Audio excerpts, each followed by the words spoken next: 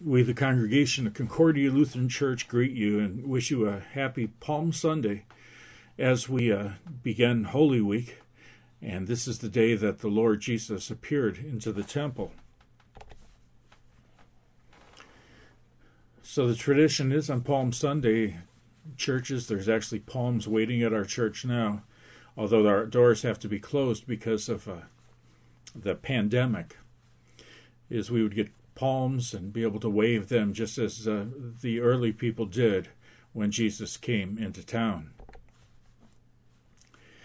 In Palm Sunday, from the New Testament, it quotes the Old Testament by saying, Hosanna in the highest. And that word Hosanna means, please save us.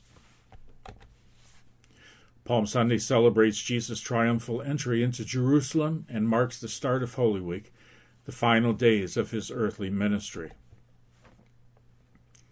And this is a beautiful picture of people pers- uh, making a procession outside in the streets, but that's not happening today because we have to stay away from one another and be uh, isolated so that the disease, the coronavirus, won't spread.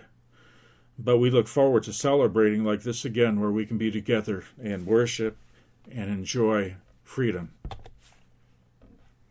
So the Palm Sunday account, uh, it, in one place, is found in John chapter 12.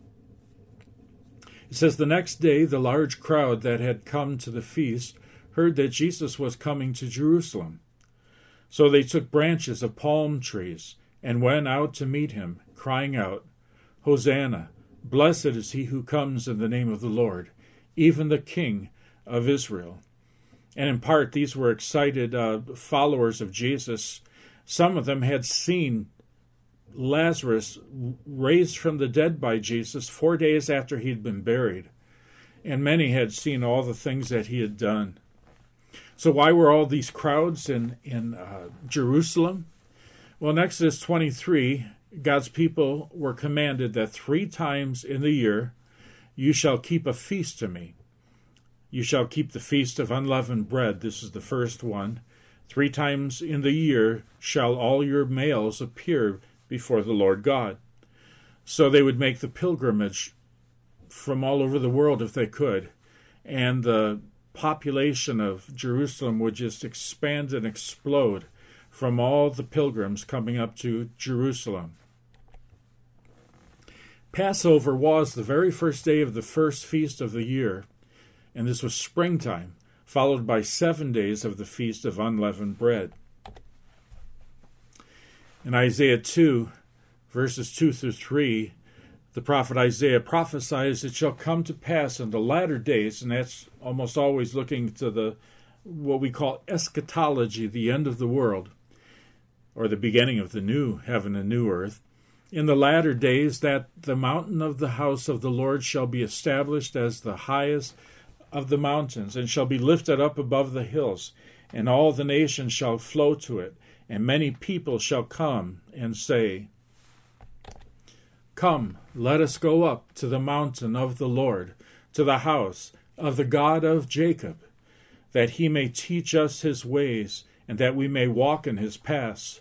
For out of Zion, and that's the mountain, shall go the law, and the word of the Lord from Jerusalem and the scriptures pointed to Jesus coming to his temple, but it also points to him returning when he will come back, and all the nations in the new heaven and new earth will will pour out to learn and to, to worship him. So in the Psalms, and we're going to look at a, a Psalm 118 specifically at the end, but there were a whole bunch of psalms of what we call the songs of ascents.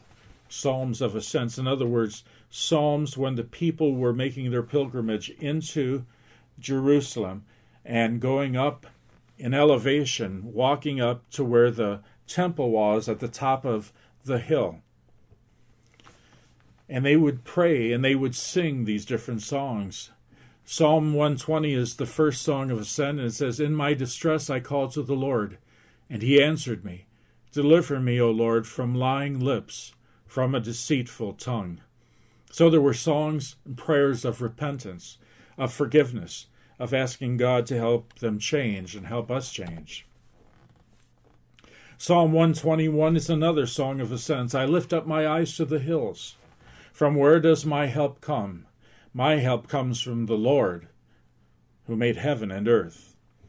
And these they would be worshiping and singing and chanting these psalms and, and uh, saying them as they went up the hill, marching into Jerusalem.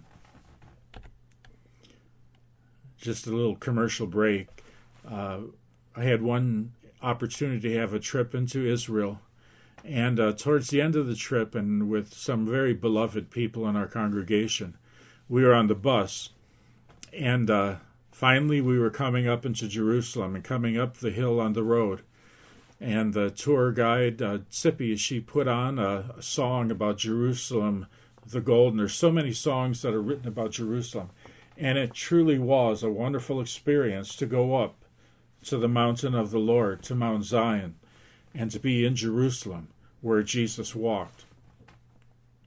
Psalm 122 says, I was glad when they said to me, Let us go up to the house of the Lord. Our feet have been standing within your gates, O Jerusalem.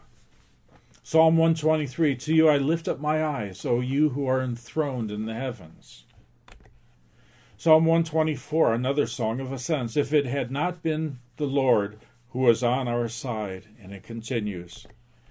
Psalm 125, a song of ascents. Those who trust in the Lord are like Mount Zion, which cannot be moved, but abides forever.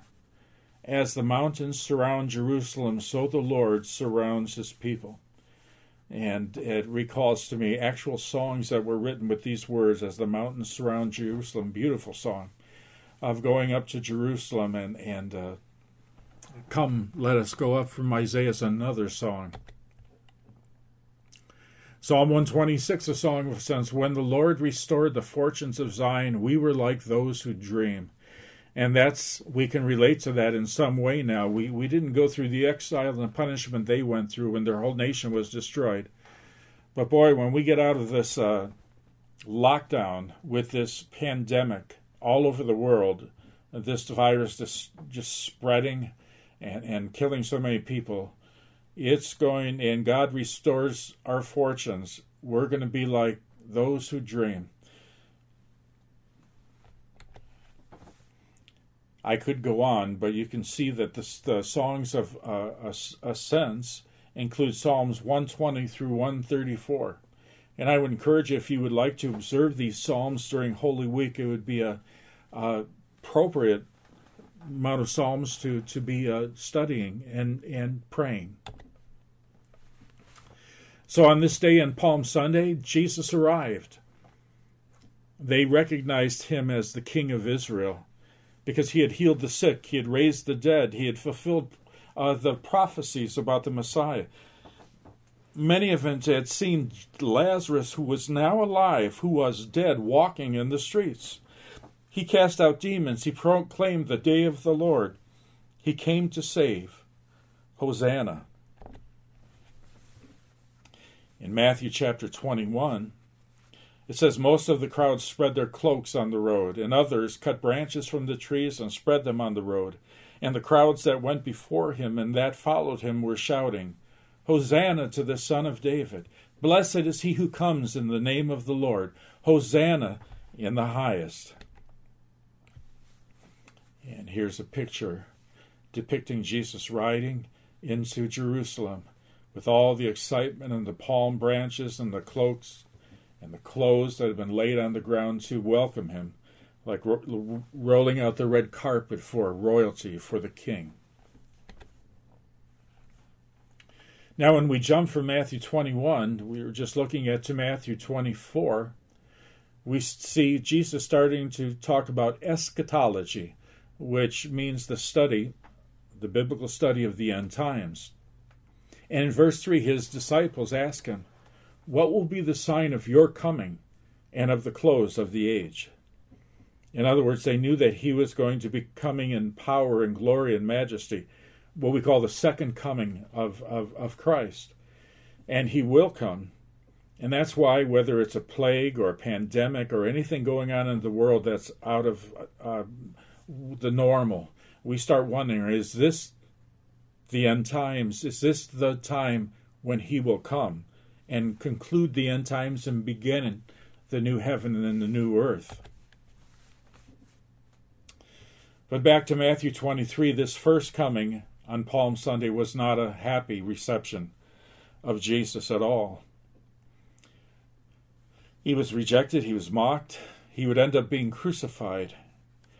And this is what he spoke in Matthew 23 O Jerusalem, Jerusalem, the city that kills the prophets and stones those who are sent to it. How often would I have gathered your children together as a hen gathers her brood under her wings, and you would not. See, your house is left to you desolate. For I tell you, you will not see me again until you say, Blessed is he who comes in the name of the Lord. And most of Jerusalem was not saying, Blessed is he who comes in the name of the Lord. If you've been brought up in the church and raised as a Christian, you, you could have memorized the Lord's Prayer, in which we pray, Thy kingdom come.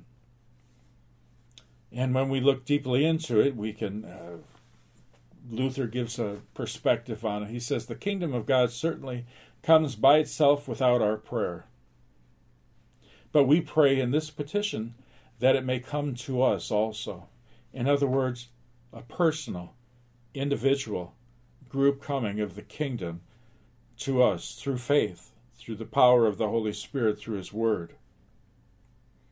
In other words, it's what I speak of as a revival, a renewal that we open our hearts and we pray, Thy kingdom come, because the kingdom has the king.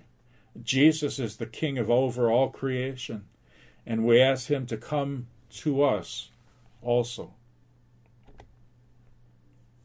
Matter of fact, Revelation 22 20 through 21 are the last words of the Bible.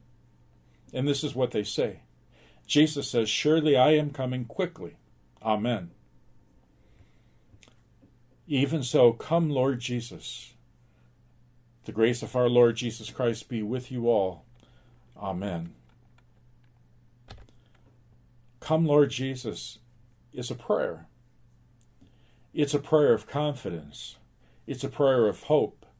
It's a prayer knowing that of his forgiveness and his grace. We're not afraid of his coming. We pray for his coming. Revelation 3:20 Behold I stand at the door and knock.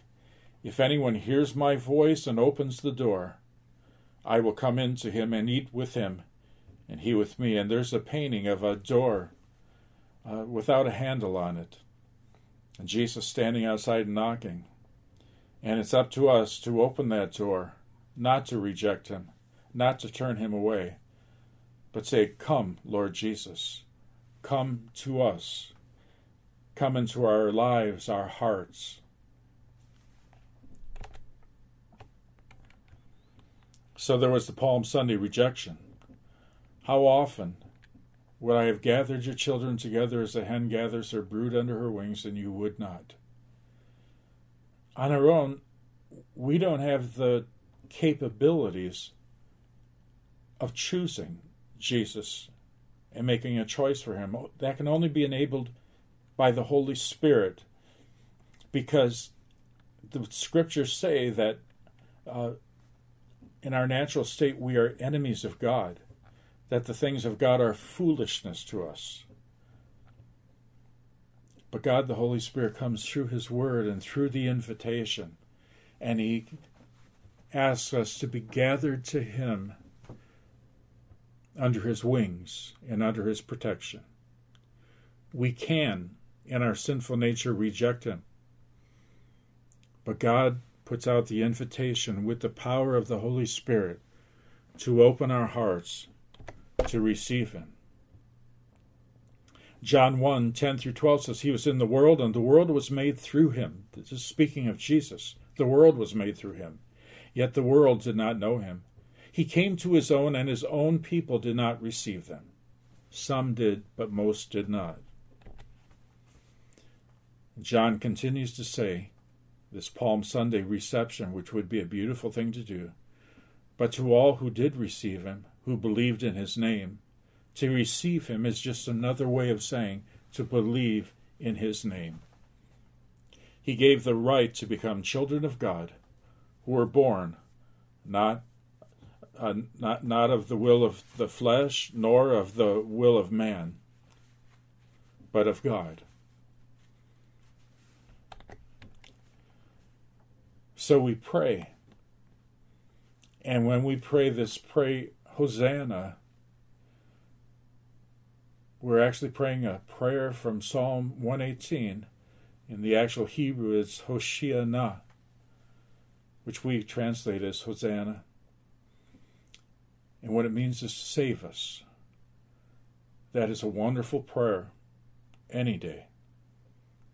But today, if He speaks to your heart, do not harden your heart, but open and in return pray to Him, the Lord Jesus.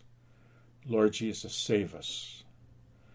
So we ask you, Lord Jesus, to save us from our sins. Save us from this sinful world Lord, we pray that you save us in every way body, soul. We pray for your salvation and your protection during this plague.